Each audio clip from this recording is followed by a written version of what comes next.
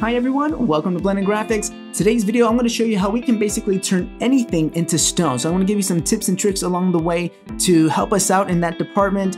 And for this video specifically, I'm going to give you all the different stock images you need if you want to follow along. You're going to get a couple of extra textures as well if you know, if you want to try something else and experiment with those different pictures with doing the same techniques that I'm going to provide with you today. For today's video, we're going to basically use this person's arm and transition that from normal skin texture into a stone and rock texture. But like I said, you can use this and transition anything into stone. So if you have like a nice animal picture that you want to use instead of the arm, feel free to use that. The techniques are all going to be the same. So anyways, let's go ahead and check this out and let's get started.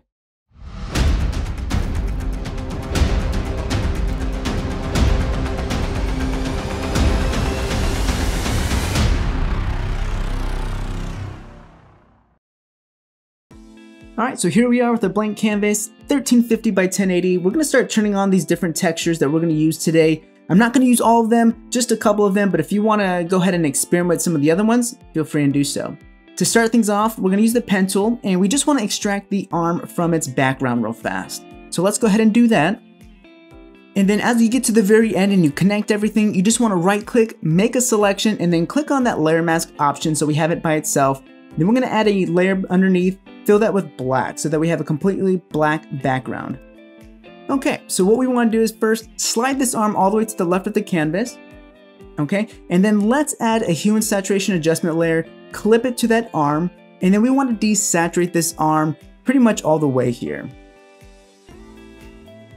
And click on that layer mask. We want to make sure we have a soft round brush. And then let's just paint black on the left side as we just kind of want to transition to those gray tones of the arm. Obviously the gray is going to be where we're going to apply all that rock texture.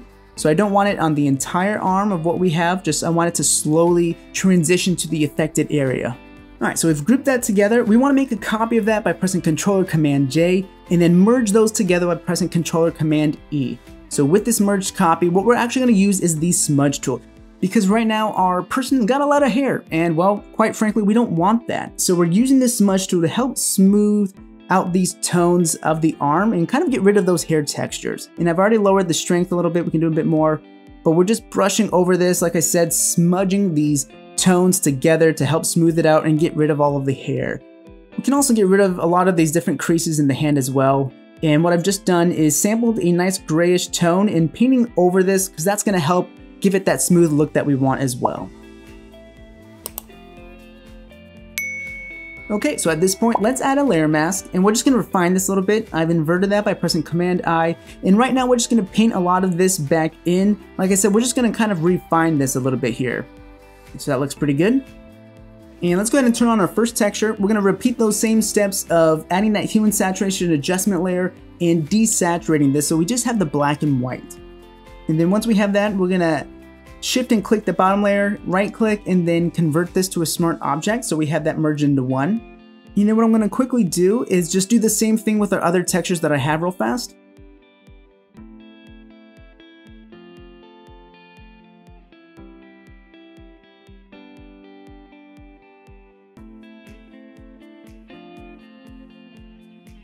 Alright, so let's go back to our original texture that we had. We're going to make a copy of that by pressing Command J. And then let's go ahead and Command T to transform this. We're to scale this down a little bit and maybe rotate this. And I want to start with the forearm first. Let's lower the opacity. Okay, let's right click this and then we want to go to our warp feature here and we just want to wrap this around the arm so that way it looks more realistic and isn't completely flat. Okay, so let's add a layer mask and then invert it by pressing Command I. Make sure that we have white as our foreground. Using a soft round brush, we're gonna reveal a lot of this texture that we had just applied. And we don't wanna go overboard with this, just kind of make it a nice subtle transition. Alright, so let's go ahead and make another copy of that. We're gonna do the same thing again with the bicep area this time. So we're just going back to that warp, making sure that it looks good and it's fit the way it should be. Add the layer mask, invert it, and then paint some of this back in. And if you are someone that's new to using textures, I do have a video that goes a bit more in depth with explaining how to use textures in your projects, so feel free to check that out. We are going to use one final texture of this crack texture on the hand here, and once we've completed this, we can go ahead and move on to our next texture. And you'll notice too that I try to align certain areas of the texture with parts of the body. So you can see that a lot of the cracks I try to line with the creases of the hand or part of the arm. So just things to think about as you're using these textures yourself. All right, so anyways, our base is set. Let's add our next texture and we're gonna use the quick selection tool, come down to the bottom area. I'm pretty much drawn to this spot here because I like this indentation. So I'm just using the quick selection tool around this area. Once I have enough of the area that I want, I'm gonna press Command J to create a copy of the selection, turn the original layer off, and then we're just going to find a nice spot for this on the arm. And honestly, this can be the most challenging part of the tutorial and the project is just finding the right area that you want to use and apply this to. Alright, so now I'm using a hard round brush to just kind of refine the area that I don't want to use and just kind of chip away at some of those spots.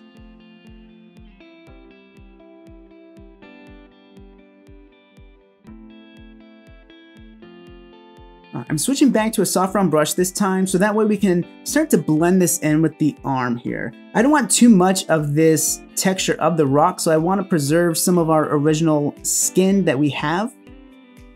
So something like this looks pretty good. We can refine it a bit more.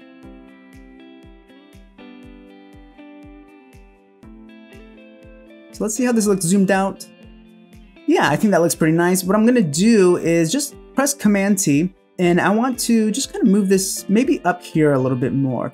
What I have in mind for my person here is I want the most amount of rock transformation to be by the hand.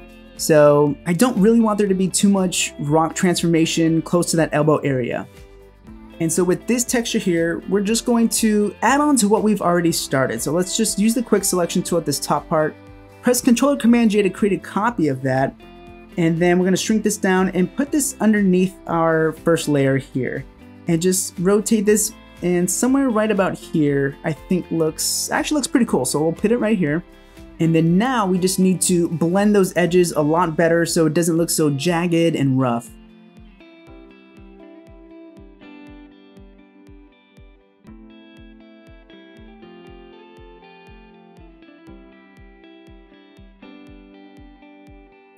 Yeah, I think that looks pretty cool. Okay, on to the next one.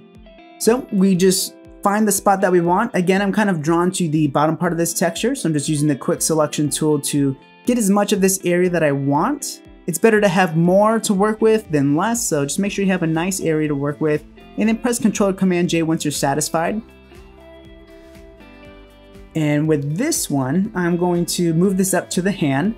And at the very top part of that where it starts to bend a little bit, I'm trying to align that with kind of the base of the fingers on the other side of the knuckle area is kind of what I'm trying to align with. So think about that when you're using your textures. Use the different parts of it to your advantage in areas that make sense or looks like they would make sense with the hand or what you're working with. And then we're just gonna get rid of the areas that we don't want. Feel free to even switch between a hard round brush tip and a soft round brush to kind of clean up these edges as well because there are going to be some spots on here where you want to preserve the integrity and the shape of that texture. So using the hard round brush at times like that could be nice. And at this point, it's really up to your personal preference as to how much of this texture you want to have visible.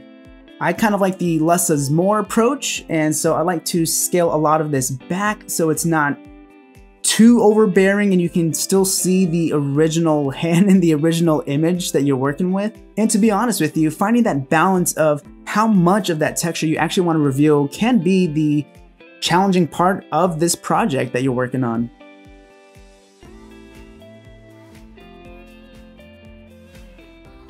Okay, I think that looks really good. We're off to a good start. I'm actually going to go ahead and speed through this next section because we're just going to repeat the same stuff over and over again with the same textures. And I've already walked you through and talked you through what we need to do to accomplish that. So I'll be back with you in just a second once I've applied this texture on.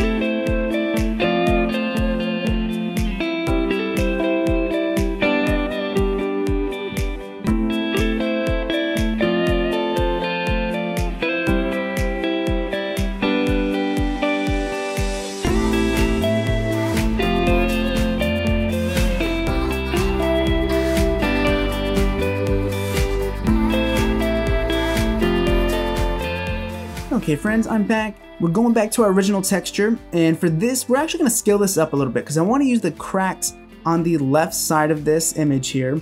And I'm gonna lower the opacity because I wanna align those cracks with that hole that's right in the middle of that forearm there. So just somewhere right around here. And let's add a layer mask and invert that. And let's just paint this back in just to kind of see where we're at. And I'm just using a soft round brush to paint this back in. And let's make sure we get the left side of that as well. And I'm thinking we're probably gonna just move this over a little bit so it makes a little bit more sense. So let's go ahead and do that. Control or Command T.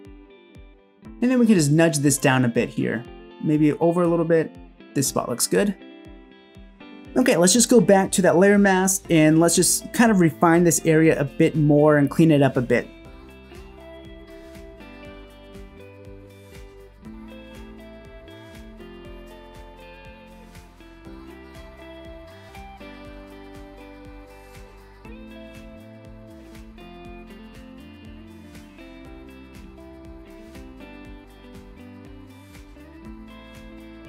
I think this should just about do it for us. Alright, so let's go ahead and center this back up a little bit here. I'm gonna go back into those cracks a little bit, just make sure that those dark parts are really black. So let's just paint white just in those little cracked areas. Just because that this crack is much larger than the rest of the texture on the arm, I wanna make sure that that crack itself is nice and dark and not a really faded tone.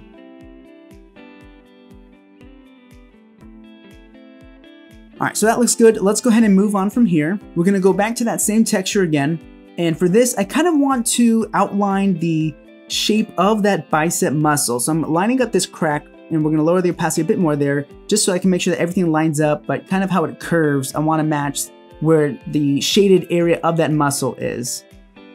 And I can't stress this enough. Just like I said before, use the physical features of not only your subject, but even of your texture to your advantage.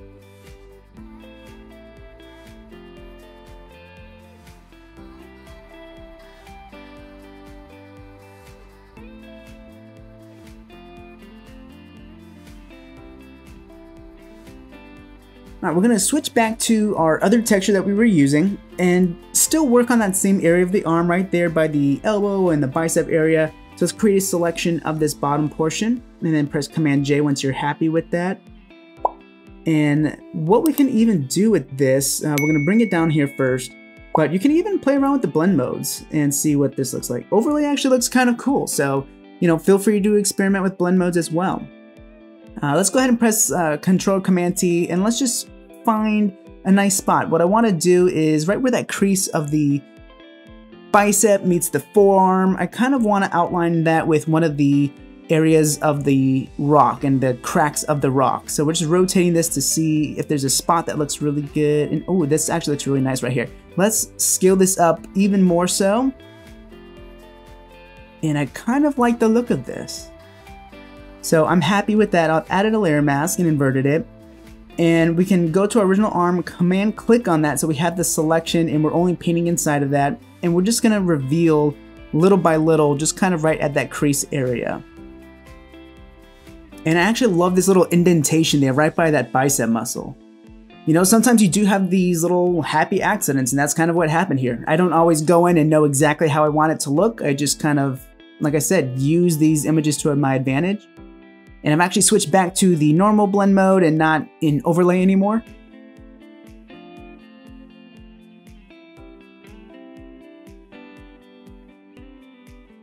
All right, let's go ahead and deselect. We're going to make a copy of this layer that we're on by pressing Command J.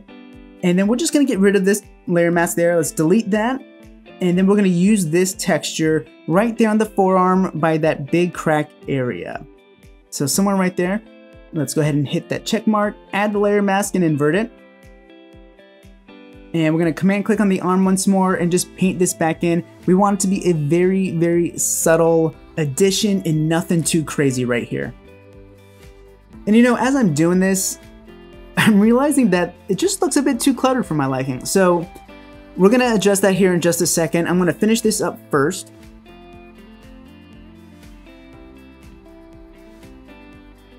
All right, just a little bit more and that should do the trick. Good, okay. So uh, that big spot right there at the forearm, that hole, I just wanna shrink that down and maybe move that a little bit. So let's just go ahead and find those layers. It's towards the bottom. All right, so that's good. Let's highlight these two and group them together. And then we're gonna Command T and we're just gonna scale this down a little bit. Like I said, it's, you know, it can be really easy to get carried away with adding all this stuff in. So try not to go too wild with it. So let's just find a good spot for this. Maybe somewhere closer up to this other little crack area. Yeah, I think that'll be fine just right here. All right, so let's just go ahead and add a layer mask to this group now, and then we can just maybe even zoom in a little bit here and just clean this up and try to make this look a bit more tidy.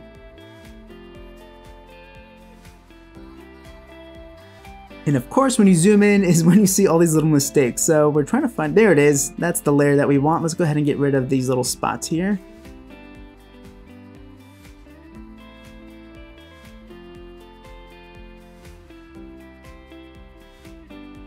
All right, yeah, I'm much happier now that we've made that little decision there. Okay, so now we're gonna apply that same texture right by that uh, big crack. We're gonna do the same thing for the rest of this forearm here. So let's just line this up accordingly. And add that layer mask, invert it, and let's just paint this back in.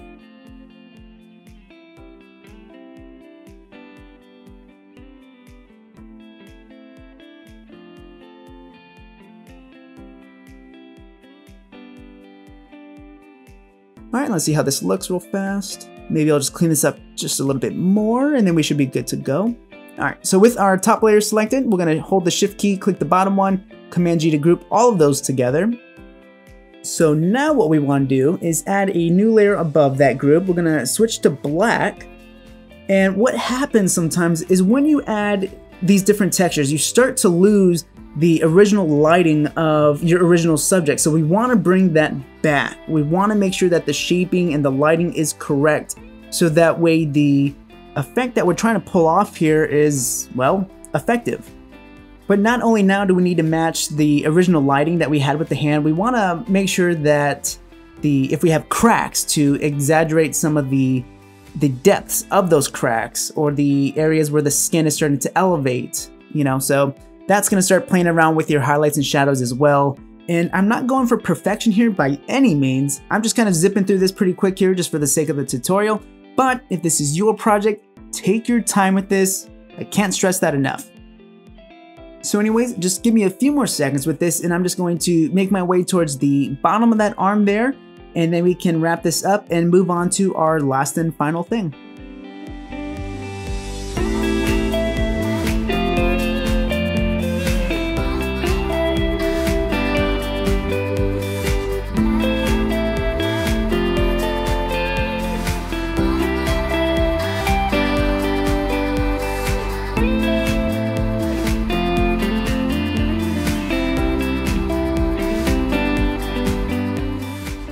So the last thing that we want to add to really sell this effect is I'm going to one of my debris brushes that I've made, and honestly, it's just a couple of little circles uh, that you can fill in, really easy to make. But we're gonna find a nice little gray color to use with this at 100% opacity, and let's scale this down quite a bit. That's a bit too large.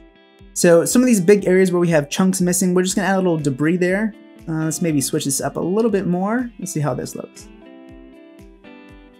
Maybe I'll rotate it, the brush a little bit. And I want to make this pop a little bit more. So let's make this a little bit brighter. And let's try this again. Okay, so that looks good. And we can even switch up the debris brushes, have a little bit of variety. And like I said, just kind of going around to some of these areas that have chunks missing, we'll just add debris falling from that. And by doing this, you know, we're taking that extra length to add that element and really sell this effect. And we can switch up the brush one last time here and then maybe just add this to a couple more spots and that will pretty much do it for this tutorial. Alright, so here it is ladies and gentlemen, our arm transitioning from normal skin texture into a stone texture.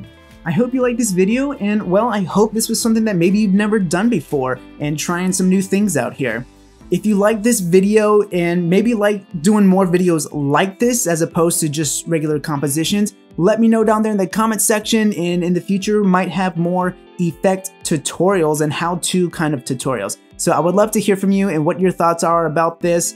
If you're getting any value from these videos, please subscribe if you're not doing so already and help spread the word. I hope to have you back for our next video here at Blended Graphics. In the meantime, please take care. I'll see you soon.